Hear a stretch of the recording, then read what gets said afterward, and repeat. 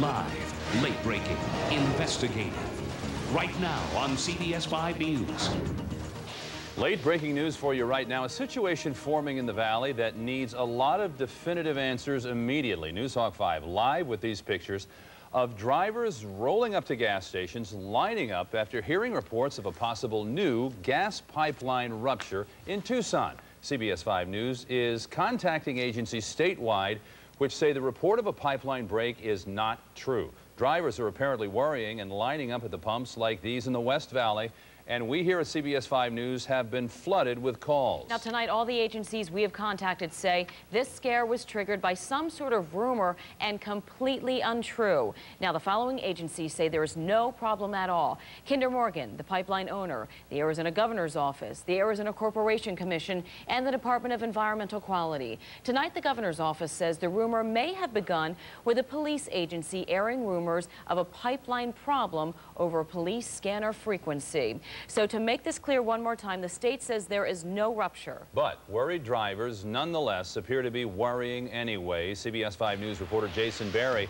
live at one Phoenix gas station with more on this late breaking story. What can you tell us, Jason? Take a look at what's going on out here. Dozens and dozens of cars lined up for gas for no reason. There is no gas shortage. There is no gas crisis. But obviously, these drivers don't know it. We are going to try and fill them in momentarily. But first, we want to tell you what's going on. A spokesperson for the governor's office tells CBS 5 News that a rumor was going around late this afternoon that a gas pipeline to Tucson had burst and we were about to have another gas shortage in the valley like the one we had this past summer? The answer, no. The rumors are wrong. There is no gas shortage. We are told that a rumor started late this afternoon. Apparently, a police agency apparently was talking on a radio frequency to another police agency. They mentioned a possible gas shortage. Apparently, people were listening on their scanners. They heard what was going on, and that is how this entire mess started. People heard there may be a shortage. They started lining up. And you can imagine they are not going to be too thrilled of the fact that they've been waiting in line for no reason, but I think they'll be happy to hear that there is no gas shortage. Reporting live in the North Valley, Jason Barry, CBS 5 News. All right, Jason, once again, we are being told by the state's top agencies there is no pipeline rupture, there is no shortage, and no need to go to the pumps tonight. You can certainly depend on us to keep you posted on any late-breaking developments here. More late-breaking news for you now. Newshawk 5 over the scene within the past hour. Inmates hauled from their cells laying on the ground outside a Southwest Valley prison. That after reports of unrest of fires set inside the building and a guard apparently injured in a prison disturbance. Now, all this is happening right now at the state-run Lewis prison. That is in Buckeye. Look at that map right there. CBS 5 News reporter Shelby Croft is there live with the late-breaking details on this story. Shelby. Diana, we've had no official word from the prison yet, but I can tell you what we've seen and heard out here tonight. Apparently, there were two fires in the Buckley unit. Those two fires have since been, uh, been put out. Some sort of disturbance in the Buckley unit tonight. Now, Newshawk 5 was over the scene as the prisoners were emptied out of that unit. They all were forced to lay on the ground outside. No word yet on any, any injuries, but we did see a prison employee taken away in an ambulance. We don't know exactly what caused this disturbance here at the prison tonight. We don't know if this was a riot, an uprising of some sort. Can tell you a little bit about the unit where it happened, the Buckley unit. It houses 775 inmates. It is what's known as a level four unit that is just below a level five or the highest or maximum security unit out here on these grounds. We'll, of course, stay on top of the story and bring you any late breaking developments. Reporting live in Buckeye, Shelby Croft, CBS 5 News. New information in the murder of a Northwest Valley couple in their home. Tonight, the family of the man accused in this crime is talking to CBS 5 News. Handyman Benjamin Cota is facing two first-degree murder charges, and his brothers defend him as more disturbing details in this crime come to light. CBS 5 News reporter Kara Lou has this Crime Tracker 5 update. I say he'll take your wallet, but he won't kill you. Benjamin Cota's brother saw him an hour and a half before he was arrested. They can't believe he's suspected of murdering a Peoria couple he was doing construction for. He didn't act like nothing was wrong, and you know, and he was here yesterday, he took a shower, and he left. Newshawk 5 was over Tolleson Tuesday as Cota tried to run from police after slamming the victim's truck into a wall. So I was surprised because he, like I said, you know, he was not a violent person. So to this point, I still think that he did, he did not do it. investigators say otherwise, that Benjamin Cota murdered Victor Martinez and Lupe Zavala as they slept, that the mattress is blood-soaked, and the bodies were found wrapped in plastic in a bedroom closet. William Carlson has known Victor Martinez for nearly 40 years. Oh, you couldn't ask for a better person as well as Victor. Always had cash on him. Help right now. If he was there, I want the $100 bill. Give it to me. Friends say Martinez routinely took in workers down on their luck, giving them jobs fixing up the house. And he let him stay in the house, too. Grieving family members brought candles and flowers to the home, but were too distraught to say much except that they did not deserve this. In Peoria, Carol Liu, CBS 5 News. CBS 5 News investigating the rape allegations made against Kansas State University quarterback Ell Roberson just one day before he played in the Fiesta Bowl here in the Valley. The alleged victim told Paradise Valley Police she first had consensual sex with another player on the team, James McGill. She says McGill left the room and then she fell asleep and, uh, and then awoke to Roberson having sex with her. She tells police she told him no and wait Roberson says the two had consensual sex. The county attorney is still reviewing the case, but says it is not likely Roberson will be charged with a crime in this case. CBS 5 News waiting to hear word as to whether or not the trial of Bishop Thomas O'Brien will be moved out of Maricopa County. O'Brien is set to stand trial starting Monday. He's charged with leaving the scene of a deadly accident last June. Attorneys today discussed several last-minute motions, including a change of venue. You can certainly depend on CBS 5 News to be there when the hearing continues tomorrow.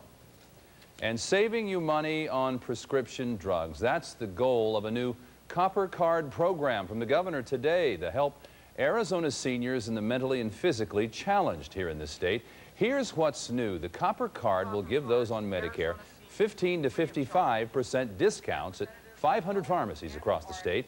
All prescription drugs are included. There won't be an enrollment fee, but there will be a $3 dispensing fee for each prescription to help cover administrative costs. The new cards will be mailed out during the next several weeks. New tonight, a Valley grade schooler is on her way to California to see the headquarters for the Mars mission firsthand. Now, why does she deserve this trip? Well, she named the two spacecraft used in this mission. We have been bringing you these amazing shots from the Mars rover that landed Saturday, full color images and 3D photographs of the red planet, all part of a mission to see if life ever existed on Mars. And 10-year-old Sofi Collis is one of the mission's biggest fans. The Scottsdale girl, who was adopted from Russia, named the rover Spirit and Opportunity after winning a nationwide essay contest sponsored by NASA. NASA. And tonight, she shared part of that essay with CBS 5 News. Listen up. I used to live in the orphanage. It was dark and cold and lonely. At night, I used to look up in the sparkly sky, and I felt better. I dreamed I can fly there. In America, I can make all my dreams come true. Thank you for the spirit and the opportunity. Oh, that's great. Well, Sofi heads to NASA's Jet Propulsion Laboratory in Pasadena this weekend, and she tells us tonight she wants to be an astronaut when she grows up. How about that? All right, we're still covering that rumor, at least, of a gas shortage in the valley that has motorists lining up at West Valley gas stations we've seen already. We want to take you now to Jeanine L'Ecuyer. She's the governor's spokesperson. Jeanine, can you hear me? I sure can, John. All right, Jeanine, we, uh, we hear viewers and others calling us tell us that uh, People heard rumors out of Tucson law enforcement, somebody may be monitoring scanners, mm -hmm. that there might be a gas line break. How does the governor's office find out whether or not such a rumor is true, first of all? Well, first of all, the, by happenstance, we happen to have all five corporation commissioners and representatives of Kinder Morgan meeting in Tucson tonight. They had uh, access to information instantly and so we were able, through the governor's office, to confirm very quickly that this is nothing more than a rumor. You can gas categorically flowing, deny there is no gas line break. You can categorically deny, based, based on what you've been told from the Corporation Commission and the company itself, that there is no such gas line break. Yep, this is a rumor. And how could you pinpoint it? This is Diana. How could you pinpoint it to rumors spread through a scanner? Well, that's one of the things that we're investigating now. And the, the piece of information that we have is sometime mid-afternoon, word got out and people began talking to each other and telling each other about this. As near as we can tell, that word got out over a scanner from a police agency, information that they were suggesting to their own officers to top off. Now, what triggered that police agency to put that piece of information out over their radio systems? That's what we want to know. And that's what we'll be checking into in the next day or so. But it's real important for folks to know tonight that this really is a rumor that gas is flowing, there is no shortage, and nothing to nothing to nothing to worry about. It's a concern simply because we all lived through this last summer. Jeanine L'Ecuyer, thanks for that uh, clarification, that explanation. Uh, bad news travels fast. This is unsubstantiated news, a rumor, and it's simply not true. We have it straight from the governor's office. Thanks for uh, filling us in tonight, Jeanine L'Ecuyer. My pleasure. Coming up next on CBS 5 News. One Valley city doesn't deliver for thousands of people left waiting in line on New Year's Eve. Now, angry ticket holders claim they're getting a refund runaround. I'm frustrated and I feel ripped off. I mean, I lost $90 in this. The 5i team following the money in an exclusive investigation just ahead. The future of the Arizona Cardinals is apparently all green. Dennis Green takes the deal to take over the team. Well, you got through hump day. Now get ready for a few warm days. I'm Chief Meteorologist Mike Harvey. I'll let you know how much we'll be heating up ahead in our Weather Watch 5 forecast. Live, late breaking, investigative with Diana Sullivan and John Dupree. This is CBS 5 News. The Super Bowl on CBS 5 approaches. We have a live interview with Joe Theismann and John Riggins. Who do they think will be in the big game?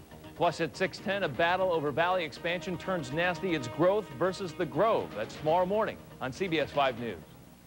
When CBS 5 News is live on the scene, we're there for a reason. CBS 5 News is live on the scene. The children were found right behind this fence. There's no better and more reliable place to gather information about a story than where the action is unfolding. I'm live in the exact spot where it all took place. That's why you'll see us live all over the valley, in the air, on the ground, bringing you new urgent information the second it becomes available. Live, late breaking, investigative. CBS 5 News.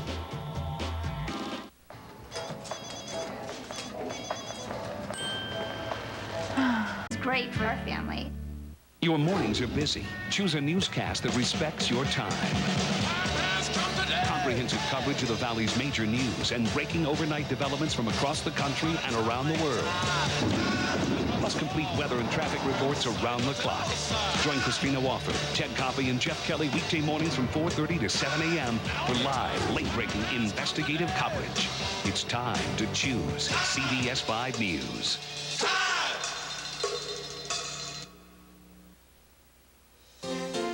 Live, late breaking, investigative. You're watching CBS 5 News. Rumors run rampant in the valley tonight. CBS 5 News checking reports of a gas rupture and a pipeline break and going straight to the authoritative source to find out they are not true. That according to the governor's office itself. We'll have more as the story progresses. Now, an investigation you will only see on 5, a spectacular sunset over the valley, made more beautiful by the dirt and pollution in the air. But is there more danger that we cannot see? Federal agencies tracking terror believe there may be more to it. Only on CBS 5 News tonight, an investigation into how the Department of Homeland Security is screening the air for signs of terrorist activity. CBS 5 News reporter Greg Mocker live with that story tonight. Greg. John, this is one area of Phoenix where the county and the state have an air monitoring system. But today you could judge with your own eyes. A rising level of pollution created a murky mist above us all. But it is not only pollution that is sparking concern and interest in the skies over the valley and the nation. Tonight starts in style. Because of the weather. It's wonderful. But you're in for some dull days under the brown cloud. It was just very hazy, and I said it must be a high pollution day. Yucky. Being a golfer, when you hit the ball into this air, you lose it, and that's the truth. From Newshawk 5, see the extra blanket over the valley. Yes, Camelback Mountain is still there. Some new eyes are actually watching valley air. A series of cameras positioned by the Arizona Environmental Quality Department started snapping pictures around the valley and posting them on the web last month. This is from South Mountain this afternoon. Also, the state and the federal government have just brought online a national air toxic trend site in Phoenix, enhanced monitoring for pollutants, pesticides, and other toxic elements. And in 31 major cities, including New York, D.C., Houston, San Diego, and San Francisco, U.S. Homeland Security is testing BioWatch, a germ and biological warfare detection system. But for security reasons, no one will confirm or deny that the valley is also a site for that. More than a dozen sites are constantly raiding Valley Air, checking for everything from chemicals, dust, soot, and pollution from vehicles. And that is what is in that brown cloud that you saw this morning and might see tomorrow morning, hanging around in part because of these colder nighttime temperatures and light winds. In Phoenix, Greg Mocker, CBS 5 News. Well, thousands billed the first ever Scottsdale New Year's Eve party a rousing success. But one week later, those who never made it through the gates because of those long lines are still suffering from a New Year's hangover. Hundreds of dissatisfied customers say they are getting the refund runaround. That's right, and CBS 5 News is working to track the money. The 5i team's Mark Lodato has tonight's exclusive investigation. For thousands, Scottsdale's ultimate New Year's Eve block party lived up to every expectation. Loud music, plenty of alcohol, and an adults-only celebration. Yeah, this is a joke. But thousands of other ticket holders could only hear the fun from outside the gates. Instead, forced to spend 90 minutes or more of New Year's Eve standing in line as the clock counted down to midnight. Yeah, we've already paid for them and we're stuck here. Organizers say online ticket sales forced a backlog at will call. That, combined with an avalanche of arrivals between 8.30 and 9.30 and cumbersome ID checks at the gates, resulted in this pledge from sponsor Brian Rorick the very next day. Anybody that's unhappy or that, that they had to wait in, in, line and they feel that they were taken advantage of or that they decided to go to another establishment, uh, we are offering a refund. Now, one week later, it's become clear to the 5i team it's not as simple as Brian Rorick would lead you to believe. I'm frustrated and I feel ripped off. I mean, I lost $90 in this. Kelly Linkus was one of the thousands who bought her block party tickets online at TicketWeb. But when the line at will call seemed like it wasn't going to budge, her group, like hundreds of others, bailed, heading elsewhere to ring in the new year. I'm trying to go through those channels that you're supposed to go through, and I still haven't gotten a refund, and I'm being told different things by different people. So is the 5i team. We've heard from several disgruntled ticket purchasers who've received only this an apologetic email from TicketWeb acknowledging their request for a refund. But that's still more than they got from open air events, the corporation established by the four sponsoring clubs Dos Gringos, Acme Bar and Grill, Next, and Noise. When first contacted by the 5i team, event organizers told us that anyone with their original ticket still intact would be eligible for a refund, a plan they'd be happy to explain to us on camera. But just 60 minutes later, Open Air Events changed their story, insisting they weren't guaranteeing any refunds, and they canceled our interview. And the mixed messages continue from San Francisco-based TicketWeb, where the chief operating officer told the 5i team by email only customers not admitted to the event will be issued refunds. When asked what that means for the hundreds like Kelly who left before picking up their tickets from will call, Dan Taree didn't respond. An apology is nice, but it doesn't replace money. And it is certainly quieter out here tonight. Now, the city of Scottsdale says it too has concerns over the access issues, and it tells the 5i team if this group wants to hold a block party again next year, they'll have to address those concerns before any permits will be issued.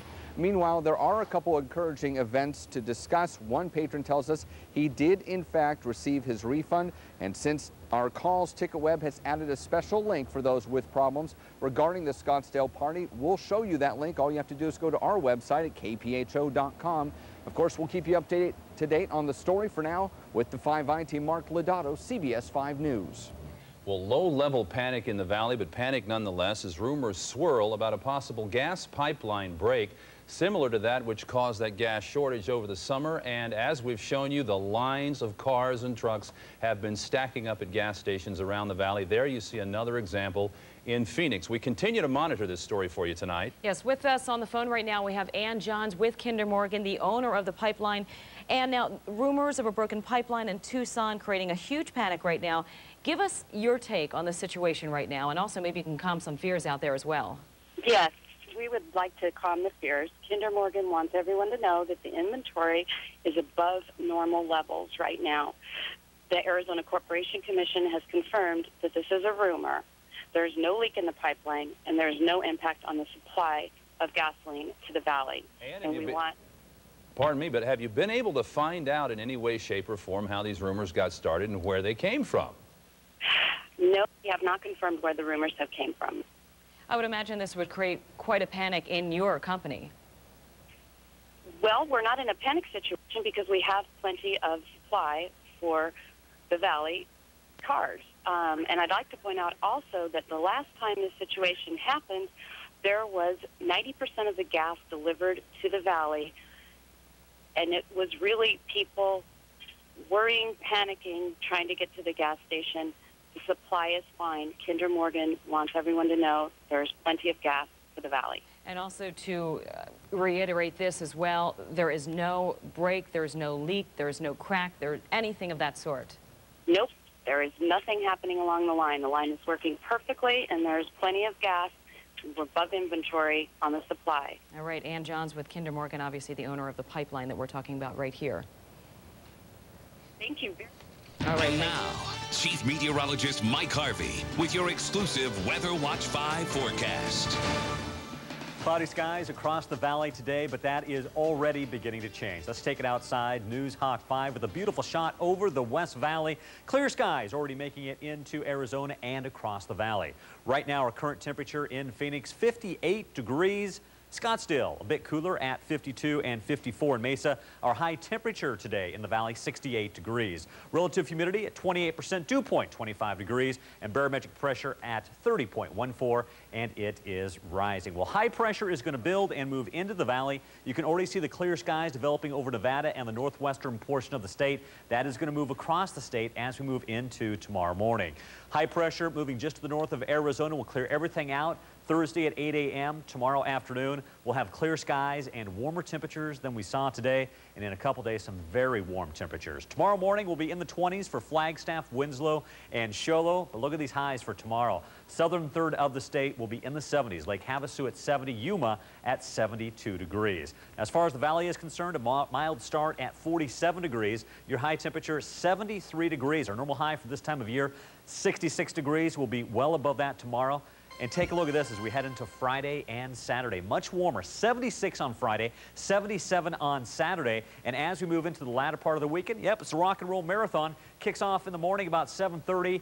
Your morning temperatures in the low 50s. We'll have a high temperature on Sunday of 74 degrees. Beautiful running weather. Beautiful indeed. Yes, it will be. We brought you the breaking details at 5. The Arizona Cardinals hire a new coach. Sports Director Chris Coraggio is up next with the full story. Stay right there. CBS 5 News wants to help crack down on streets of speed. Report the lead foot's in your neighborhood by visiting kpho.com or by calling 602-650-5432. Tomorrow at 10, high-tech counterfeiters have a new way to drain your bank account. Whether you're selling something on eBay, on classified ads, or on your own, learn what to watch for tomorrow on CBS 5 News at 10. Thursday at 10, a hair in your salad, expired meat. Going out to eat can be an unhealthy experience if your favorite restaurant doesn't keep a clean kitchen. CBS 5 News reveals some of the best and worst Valley restaurants. Dirty Dining, Thursday on CBS 5 News at 10. Serta Mattress Blowout. Well, the Cardinals have their man, and it's the man most of the NFL teams searching for a head coach wanted. But Dennis Green chose Arizona. Today, he and the Big Red worked out a five-year contract worth a reported 11 million bucks. Green interviewed twice with the Cardinals, once last week and then again yesterday. In his 10 years as the Vikings head coach, Minnesota made the postseason eight times, so he knows how to win and he knows how to discipline his players. The last two years, Green was an ESPN analyst. He takes over for Dave McGinnis, who was fired nine days ago and becomes the 33rd head coach in franchise history. A news conference is scheduled for Friday in Tempe. The Suns played in Milwaukee tonight. The new guys were in uniform. It was the debut for McDyess and Howard Eisley and they didn't play all that well. Let's uh, show you what uh, McDyess did.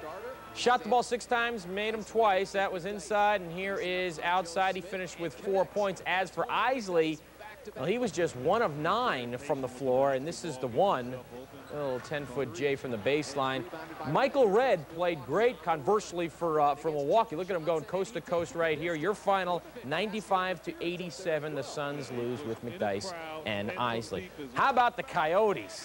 They are on fire because of that guy, the goalie right there, Brian Boucher. More on him in just a second. First, how about Shane Doan? It was 1-0 Coyotes right there. That was all that Boucher needed. He sets history tonight. Four consecutive shutouts. That is uh, second in the, the, modern era right now. So he goes for five in a row. 3 nothing was your final. He goes wow. for five in a row Friday in Minnesota. This is getting big. That's right. All, All right. right. Thank, you, Chris. Another big scare, and we're going to have an update on that in the Valley. Despite rumors of a gas line break, reports from the state and the company that manages the gas line dispel it. We'll have more. Stay with us. For live, late-breaking investigative news stories, visit kpho.com.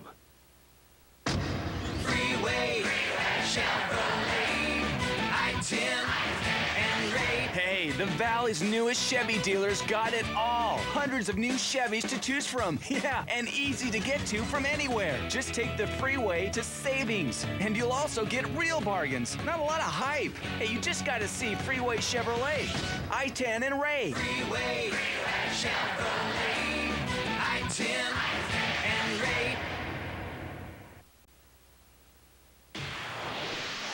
Jason Barry back live in the North Valley reporting on the gas shortage that isn't no gas shortage at all. Just a few minutes ago, this gas station behind me was full of cars, everybody lined up thinking there was a gas crisis. There is no gas crisis. There should be plenty of gas for you to fill up tomorrow morning. Reporting live in the North Valley, Jason Barry, CBS 5 News. Great news. How many ways can you say there is no gas crisis, right? Thanks for joining us for CBS 5 News tonight. We are back tomorrow morning from 4.30 to 7. Have a great night. Closed captioning on CBS 5 News is brought to you by Robb and Stucky.